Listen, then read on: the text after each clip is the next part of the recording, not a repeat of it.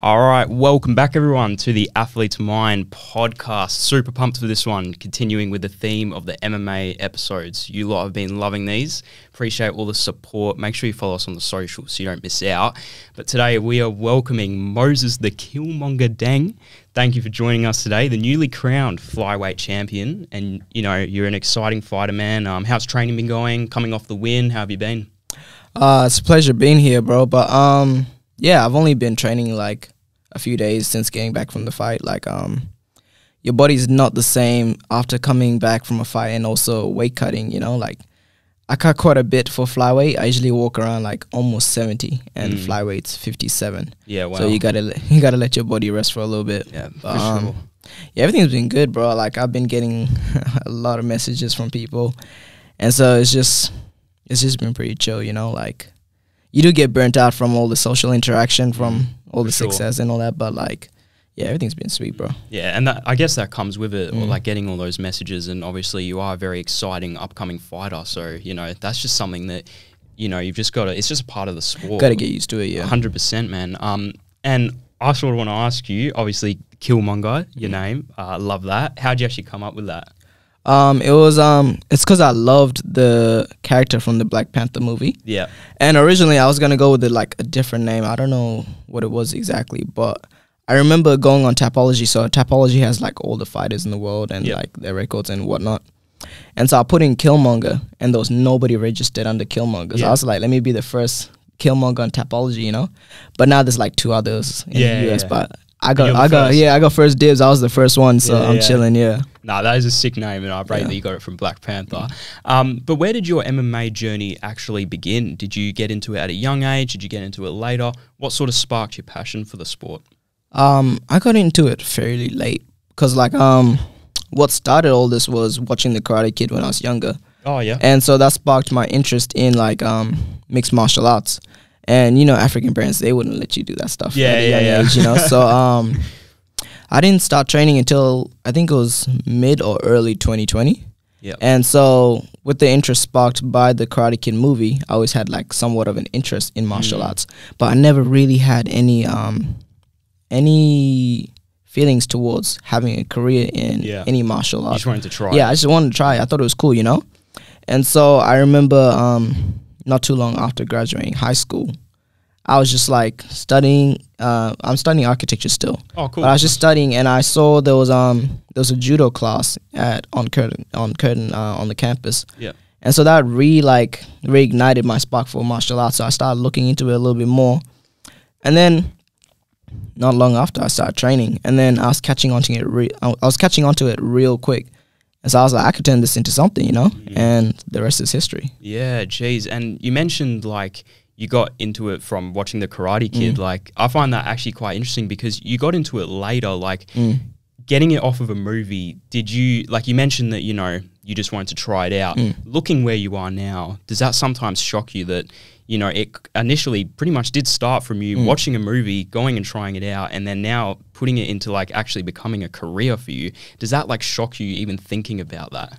Yeah, it kind of does, cause like um with the initial spark and interest from the movie, I didn't really dive into this world of martial arts until I was like 18, 19. Yeah, So there was a huge gap between the, the the first bit of it to like where I actually started, you know? Yeah. And that was mainly because of my parents. Yeah. yeah. But like I had almost like just completely forgot about it throughout my whole high school experience.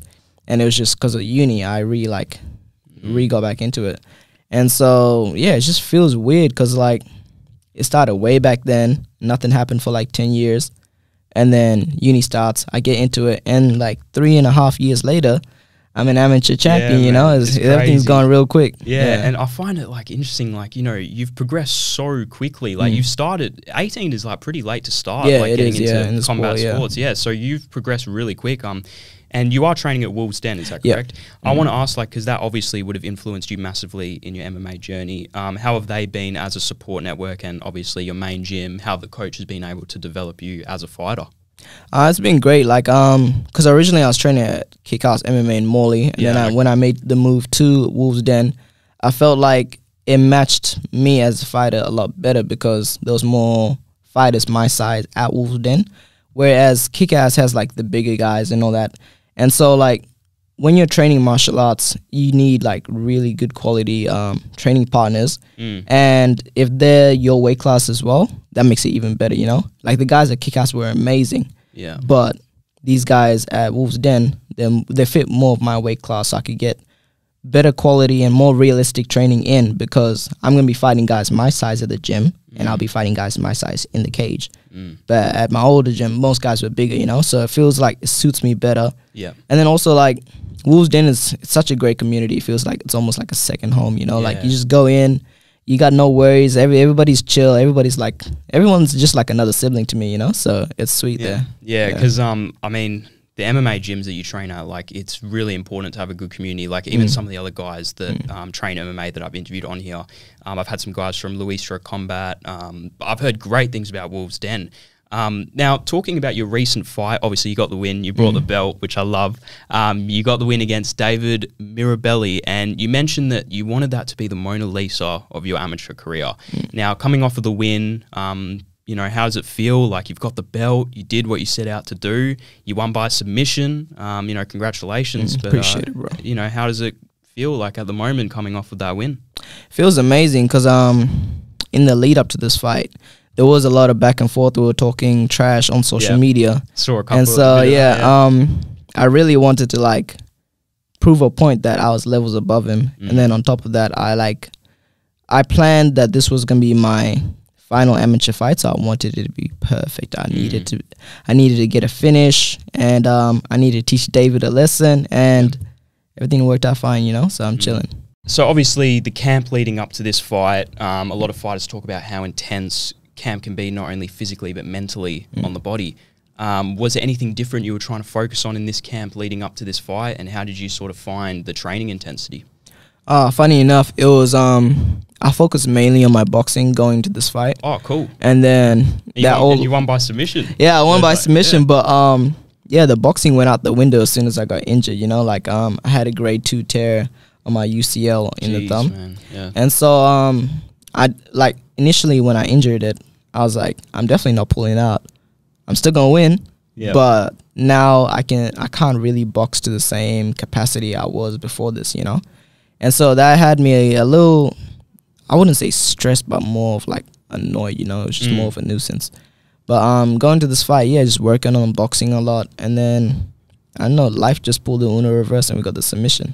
For sure, man. And Mm. now, obviously, your fighting style is super entertaining. Like I've watched some of your highlights. Um, but also with your fighting, you're, you have a great personality. You know, I appreciate it, bro. Thank with you. with MMA, it's big being an entertainer, and I see that you really take that on board. How important would you say it is for yourself and MMA fighters to be entertaining and you know show the crowd that you know showboat a little bit, do Mm. all of that stuff? Do you think that's a really crucial part of the sport? It most definitely is. Like um, the marketing side is what I I like. I've noticed a lot of fighters neglect. You know, Mm. there's a lot. Um, there's quite a lot of pros who are way more experienced and more established in the MMA community than I am. But I've been able to like market myself to an extent where I'm a bigger name than they are. Yeah, because I've like I haven't neglected that side of the sport. You know, like because we are entertainers and we're also businessmen at the end of the day. And if you're a good fighter but you bring in no eyes, no attention, the bigger promotions are not going to care about you. You know. For sure. So there's the business side that people like tend to forget about, and I'm always like keeping that in mind because personally, I'm not going to be in the sport for too long. Like I'm 22 years of age now. Mm. When I'm 32, I'm out because I don't see a point. I- I, s- I don't I just don't see the point in me competing past my prime. Yeah. You know, it's just unnecessary damage. I'm gonna have kids to look after. They need a dad with a brain. You know, Sure, health as well. man. exactly. And once your health is gone, it's gone. Yeah. And so like me, I want to make the most of the sport. I want to make I, I want to make the most I can out of the sport. I want to get the cheddar, get all my Yeah. accomplishments done and bounce, you know? Yeah. And so the way to like fast track that in a way is market yourself really well. A lot of doors will open for you. Like I've already got uh, management already looking at me, and I'm Yeah, just an yeah. amateur. You know, Yeah, yeah. most pros don't get that until late in their career For sure. and I've already got like the attention of other UFC fighters and all this, and that's all because I've been able to market myself. Yeah. And so for me, I've only got ten years left in the sport. I'm about to go pro. I want to market myself, have as many um, opportunities as as I can, and just try to accomplish everything I want to accomplish in the sport in the next decade, you know. And so marketing is like step one to all of that, and then fighting and winning is the next step, you know. For sure. And But you know, yeah. like yeah, marketing, like you said, it goes such a long way. it does, yeah. um, even like you know, you've mentioned that you get like a lot of these DMs and all that. Like Mm. you've got all this hype surrounded by you, and you know, like you said, you're an amateur, so you Mm. got all this hype. How do you sort of deal with that hype? Can that sometimes get to your head? Like when you're training, sometimes, like you Mm. know, like with people messaging you. Like, have you dealt with haters? Like any stuff like that? I definitely do get a lot of hate because you know some people are envious of the the things I'm getting at such an early age and Yeah. such an early uh what's called part of my career. You know, like um, a lot of people would like to call me cocky, but there's a fine line between cockiness and uh, what's called confidence. You know, Mm. I'm only confident because I know the potential I have and where I could take this. And like if I was cocky, then I'd be like saying this and that, and I'd be losing. That's cockiness. Yeah. But if I'm saying something and then doing that, Backing it up. that's confidence. You know, I'm backing it up. I said I was gonna finish Dave in the third round. I did just that. Mm. So, uh, people before the fight were saying, "Oh, it's cocky, he's this and this," but I back it up. You know, like I spoke it into existence. Like a good example would be in the UFC. Um, Ilia, everyone was calling him cocky. I was telling everybody before the fight, the Yeah. guy's gonna get Yeah, it done. Yeah, yeah, yeah. Oh, Ilia's too cocky. He's gonna get humbled, bro. He was confident in himself and he delivered. Anyone. yeah. Exactly. So people just like to hate people who are confident in themselves and can speak it out, you know? Like other people are too like insecure or like worried about what people are going to think if they say, "Oh, I'm going to do this or I'm that." Me like I got a lot uh, I got a lot of haters, but I'm still confident enough to speak what I believe, you know? Yeah. And so that's something that's never going to leave me. You can call me cocky, but you can watch me keep uh, having all the success. I rate that, Yeah. man. You know, having confidence is such a big thing. Like in Mm. any sport, you know, like being able to back it up and you know talk the talk, walk Mm. the walk, which you have done. Mm. It's a massive thing, man. Um, now talking a little bit about UFC fighters that you look up to or base your style off. Is there anyone that stands out that you really try and you watch them and you're like, I want to be like that person. I want to try and implement some of the things they implement into my fighting style. Um, there's a few like um, I try to take points from fighters who have a similar body type like me. You know, like Yeah. um, say because I have a pretty slim and like lanky build. If I try to fight like a guy who's short and stocky, it's just not gonna work. You know. Mm. So I look at fighters like um, Sean O'Malley, Israel, Yeah. um, Max Holloway, and uh, even like Jon Jones and all that. Yeah. Guys who have a similar body body type to me. You know. Mm. And if I could take things from them and put it into my own style, it makes my style more elevated. It makes me a more dangerous fighter, you know? And so I look up to them and like study them a lot, you know? But like there are some exceptions where there's a s- difference in body type. Like Pyotr Yan, he's not as lanky and tall, but like he has a very nice style, you know? Like Yeah. that sit back and counter style. And I like to counter a lot, you know? Yeah, yeah. And so yeah, I just look into look into those fighters who have similarities similarities to me physically. And so yeah, that's where I take man. my inspiration from. And and outside of you know UFC fighters, talking on a bit more of a grounded level with people you look up to for advice and people who support you, who would you say in your life is that biggest supporter? I know there's a long list. You got coaches, you got Mm. family, you got friends. If you can narrow it down to a couple people, who is you know those people in your life that really support you in your journey? Um, I'd say my number one would be my girlfriend's dad. Like he really Cool, keeps man. me grounded, you know. Um, yeah, just like career wise and also like life in general. Like he always seems to know what to say. He's very he's a very wise man. And so like I go to him for a lot of advice. Even though he's never competed in martial yeah, arts, yeah, he just seems to have a like a good head screwed on, you know. yeah, cool, cool. and yeah. so yeah, I just go to him a lot, and then also like other fighters like Abdullah and Kevin Cophamel, you know, they help me a lot with like just stuff that I'm thinking about regarding my career or like choices I want to make. Mm. And so watching them, because they're they're they're both already pros, yeah, I could take like points from their careers and their experiences, and so it just like it helps me kind of like navigate my career. So yeah, I'd say Sure. those three people. Nice man. And for for other people out there who want to get into MMA or you know i whether that's competing or just started for fitness, they're looking for a gym. Mm. What advice can you give to them? Start wrestling, bro. like Yeah, um. crucial part. Wrestling is probably the best base for martial arts. Um, but on a more serious note, you just gotta first you gotta think to yourself and figure out what you want from the sport. Do you want to take it all the way, or do you want to just do this for fitness, or do you want to do it as a hobby? You know, Mm. once you answer that question, you move on to the next question is, and that's because, and that next question is, um, what kind of gym fits your vibe? Like, what kind of Mm. gym culture would be best suited for you? And like, um, some gyms are more like rough and tough. Some gyms are more like flowy and go with the go with the flow type of gyms. And then some gyms are really traditional. You know, Mm. so you gotta find what gym suits your personality most, and then you go from there. You know, yeah. and so that that would probably be my bit of advice for anybody starting. For sure, man. Like the at the end of the day, the gym you're at plays such a crucial. It does. It does. It will Um, make or break a fighter's career. Hundred percent, man. Um, now we do have a couple mental questions for you. Mm. At the end of the day, this is the athlete's mind, Mm. so we love asking these.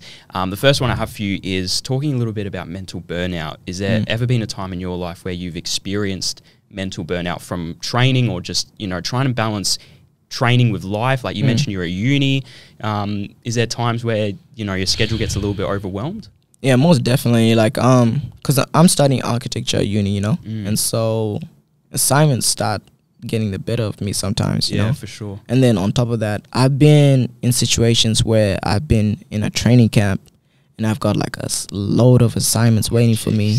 And then on top of that, I've got like relationships to look after, you know? And it just it burns you out. And like usually when I get to that point, like a coping mechanism for me is like I just shut down, I close everybody out, and I gotta figure things out before I could even socialize again, you know? Mm. And so the best thing to do in that situation is actually the opposite of that, you know? You need like a good support system. And like it may be may not be healthy for me to like do that, but it's a necessary thing for me to do at the start of like a really rough season, you know? Like when things are all going wrong, I need to isolate myself first, Mm. get myself grounded, and then socialize and get like a good support system going. But like people really need a good support system with people like that that care about them and truly want the best for them, you know.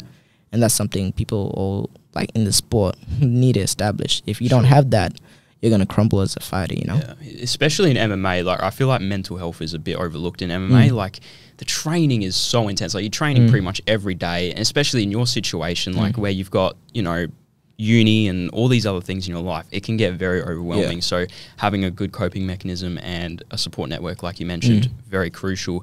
Um, but I guess what sort of motivates you to keep pushing? Like when times are hard, when you are a little bit overwhelmed, um, what is that thing that you think to in your mind that just pushes you that extra limit and you know put in that extra round and that bit more extra work? Um, it's the life I envision having for myself and for my family, you know. Mm. Because when things are really like, say, tough or like messy, I start to like think to myself, this is where it counts most, you know? If I crumble now, I will not have the life I want in the future. Mm. So if I can handle things now, go through the hardship now, everything will be smooth sailing later on, you know?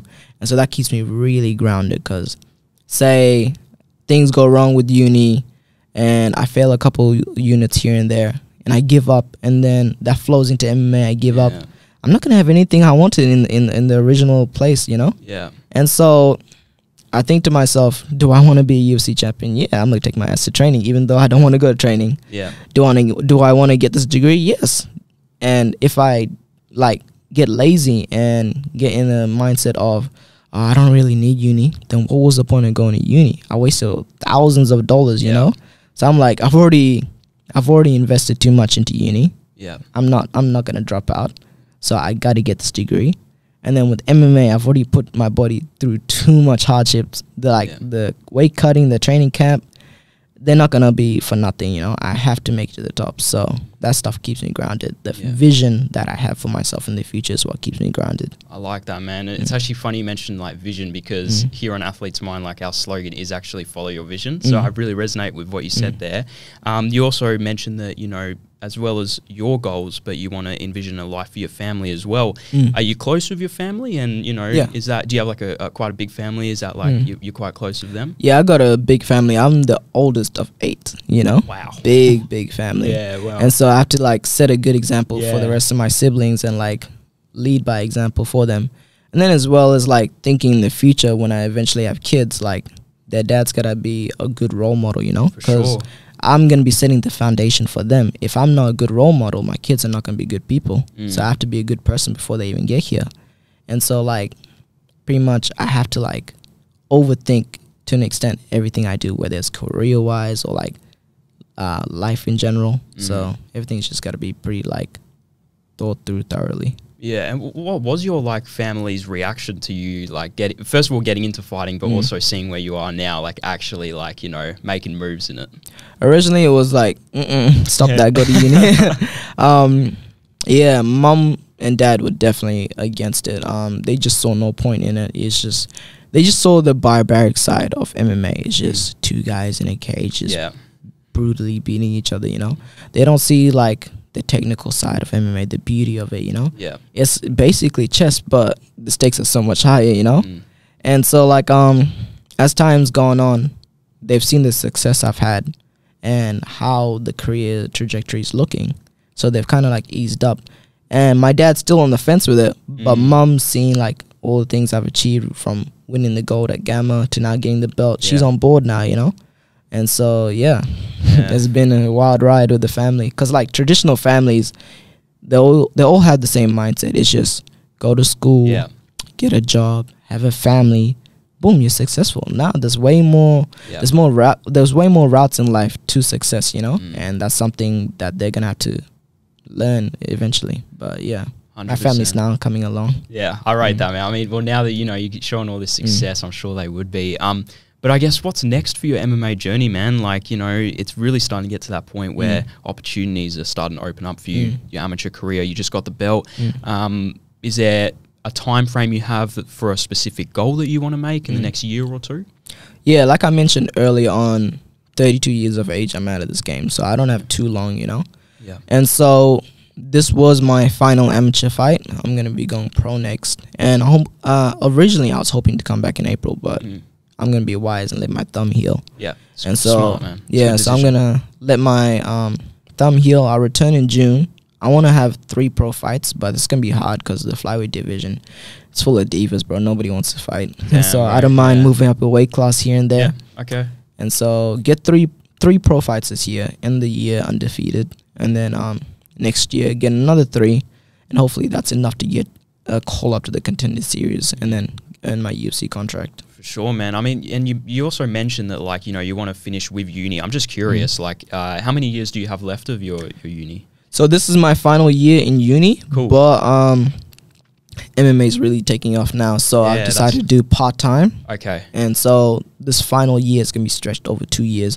Yeah. And then the thing is with architecture, to be legally an architect, you have to get your masters. Yeah. So I've got two years left with the masters, and then I've got this final year left, but it's gonna be spread over Over- two yeah, years. So in total, I got four years left. But say I get to the UFC end of next year, I'm still gonna be uni, bro. I gotta get this Okay, degree. yeah, Yeah, I'm yeah. still coming to uni. That, that's And what I was wondering, man. Mm. Because I'm like, you know, you got your uni, but if an opportunity like that comes Mm. knocking at your door, like, you know, how are you going to sort of balance that? But I rate that. You know, Mm. it, it really seems like you're following through with uni Mm. and you're taking that very seriously. Um, Mm. Getting into like architecture has that been like a passion of yours for For quite time? ages, bro. That that's that stuff started with Minecraft, bro.